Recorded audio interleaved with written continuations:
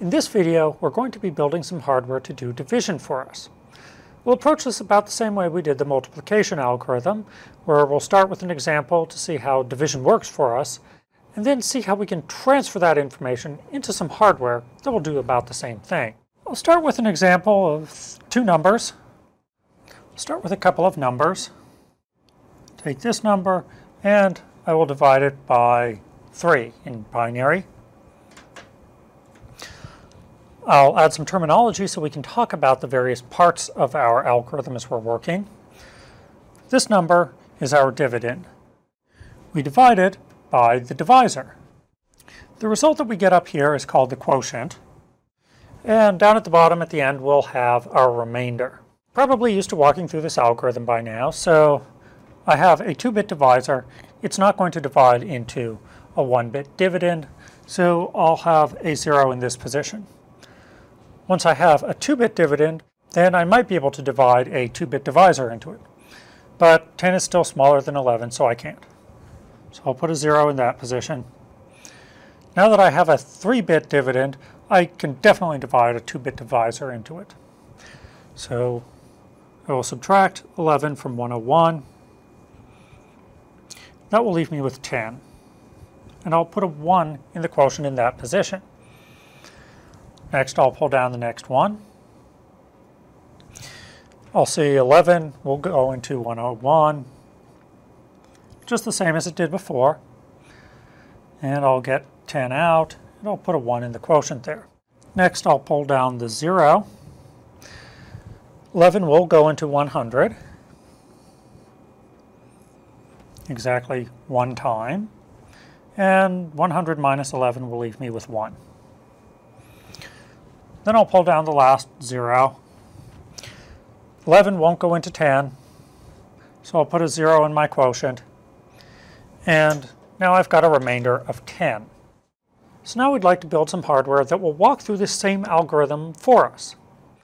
This time we nicely did it in an iterative fashion where we're shifting our divisor down our dividend each time and kind of doing some subtraction we can make it a little easier for ourselves by noticing that there are these extra bits that are part of our running dividend that we just haven't written down.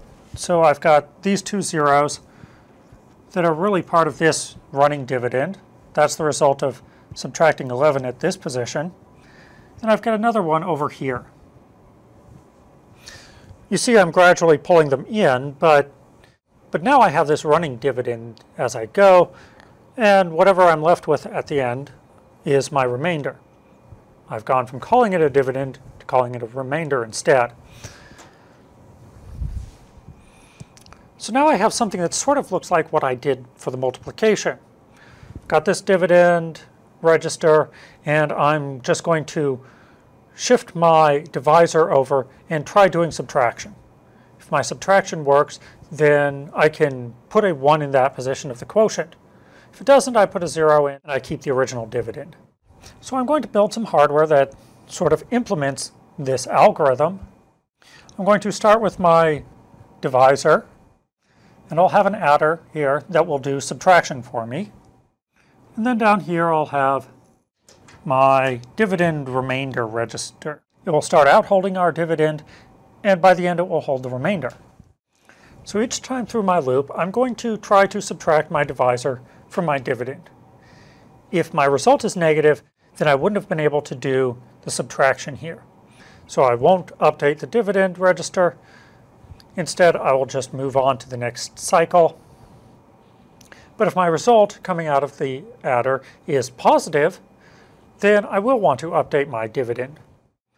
At the same time, if I discover I can do the division at that stage, then I also want to update my quotient. Now I could have some fancy hardware that figures out exactly which of these bits in my quotient I need to set for each cycle in my algorithm. Alternatively, I could decide, okay, I'm just going to set the rightmost bit each time and I will shift it over however many times I need to. So each time I will decide what the rightmost bit of my quotient is and then I will shift it over until it's in the right position. Sort of like the way we do here where I started with the leftmost bit then I move to the next one and the previous one effectively got shifted to the left. Then I decided about this bit, which meant that the previous two had been shifted to the left, and so on until I got to the very end. So that's effectively what I've been doing already. Now we'll just have it implemented using shift hardware. So again, I've got a bunch of 64-bit hardware here, but my quotient will only be 32 bits. So next let's walk through our problem again and see how our hardware handles this. I'm working with 6-bit numbers this time, so you can see I've got my 6-bit divisor here, my 6-bit dividend here. I also have lots of empty blocks of 6 bits, so these 6 bits of my divisor are not useful yet. I'll use them in later cycles as I shift my original divisor to the right. These 6 bits of my dividend aren't being used. And then I don't know what my quotient is yet, so I've just got zeros over there. So this is what my hardware would look like at the very beginning. The first cycle, I will take my dividend and try to subtract my divisor from that. My dividend has a whole bunch of zeros in the leftmost six bits, where my divisor has the original divisor in the leftmost six bits. So obviously I'm not going to be able to do that subtraction effectively, and I'm going to end up shifting in a zero on the right-hand side of my quotient. So my quotient isn't going to change for quite a while. So the first cycle, I can't do the subtraction. I shift in a zero on my quotient, and I don't change the dividend. But I will shift my divisor one bit to the right. My quotient shifts in a zero. So this zero would be shifted off. So now this is what my hardware looks at the beginning of the second cycle. I've got this divisor here, and my dividend is still the same as I had before. Now I'll try to subtract my divisor from the dividend again. I'll notice the divisor is clearly still larger than my dividend, so I can't do the subtraction. I don't update my dividend, and I shift a zero into my quotient. So my quotient is going to stay the same again, and my divisor will shift one bit to the right. Now my divisor is fully into the right-hand side of the register, so I might get to do something interesting. But when I do the subtraction, I'll notice that yes, my divisor is still larger than my dividend, so I'm not going to do anything interesting. I'm just going to shift in one more zero. Now I'll have three zeros, and my divisor will shift one more bit to the right. So this is the beginning of my fourth cycle. Now my divisor has been shifted over to the right several times and it's finally smaller than my dividend. So now I can do my subtraction. I've got 101100, which is in fact larger than 11000. In fact, it's the same as doing this problem right here. So I know this is going to be my result. This is the value that I'll end up sticking in my dividend. And now, since I can do the subtraction, I'm going to shift in a 1 on the right-hand side of my quotient. I'll also shift my divisor one bit to the right. Now my dividend has been updated with the running result that we've got, and I've shifted in a 1, indicating that I finally got to do some subtraction. My divisor has been shifted over one place, so now I'm at the beginning of my fifth cycle. I look at my divisor, it's clearly smaller than my dividend, so I know the results are going to be positive. When I do the subtraction, it's like doing this problem again. So I expect to get this result out. That's what my adder will give me. So this is positive. So I'm going to be able to shift in a 1 on the right-hand side of my quotient. And I'm going to be able to update my dividend and then shift my divisor one bit to the right again. At the beginning of my sixth cycle, you can start to see that the quotient is starting to take shape. I've got four bits of my quotient figured out now. This time when I look at my divisor, it's smaller than my dividend still. So I know I'm going to be able to do the subtraction again.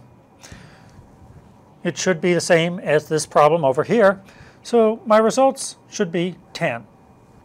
So I'll have 10 as the result in my dividend. I'll be able to shift in another 1 on my quotient, and my divisor will shift one more bit to the right.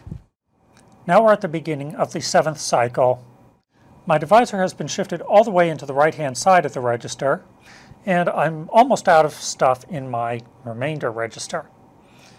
I've got something useful in my quotient now, And I get to check one more time to see is my dividend greater than my divisor. This time it's not, so I'm going to shift in a zero on my quotient. I can't really shift my divisor off any farther. It's been shifted over all six bits so that it's at the edge.